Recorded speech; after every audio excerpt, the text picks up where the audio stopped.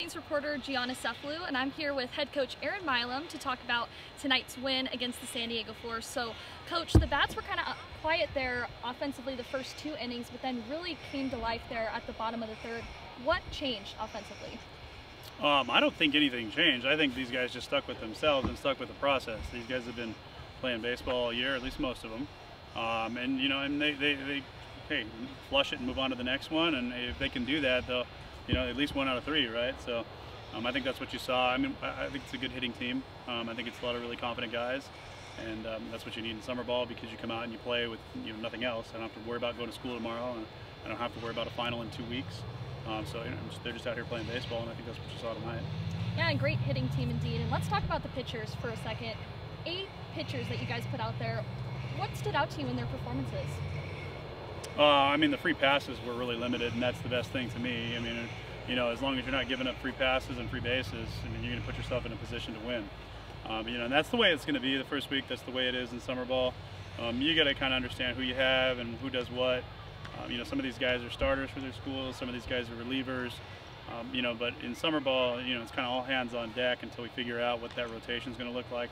Probably takes a couple weeks. Uh, Tuesday night will probably be the same you know, a lot more of a one, two inning type of things.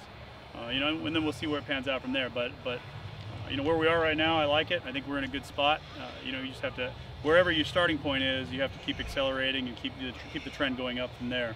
You know, you can't you can't be up and down, up and down. You just got to keep going up. Yeah, and it's the first game of the season here too. Why is it so important to build that team chemistry early on when these guys really don't know each other? Oh, that's huge. Yeah, because they all come here from different places. You know, the majority of them don't know each other. Some of them might have played each other in conference. You know, we got a couple guys at the same conference that know who each other are, but you know, for the most part, these guys are all new, and then they get thrust into the situation where, hey, they're living together, um, they're playing baseball together every day. Starting next week, they're going to be working camp together. You know, so uh, it's important that that happens quickly, right? Because you're you just you you have so much of each other um, that you know if, you, if, it doesn't happen quickly, it's going to be a long summer. We really are together every day, and uh, just talk about how exciting is it to be back playing Saints baseball for the first time in two years. This season was canceled last year. Oh my gosh, yeah. I mean, uh, I keep talking to the staff and the players about this. You know, the whole post-pandemic remediation and being able to get back out here and what you got to do to do it. Um, you know, what can go wrong will go wrong, and that's that's totally true as of now. But uh, you know, as far as being back, as my first game in coaching in 15 months. Uh, you know, from my college season getting canceled in, in 2020 till till now. So, yeah, I'm, I'm, you know not just happy. I'm excited about it. Um, I had those first game jitters right before. You know, kind of don't know what to do with yourself when the game's going on. Um, but that's also the beauty of it with these kids is that um, you get guys who come prepared from their schools. They know what to do already. Um, and it's not just about knowing what to do on field, it's knowing what to do off the field.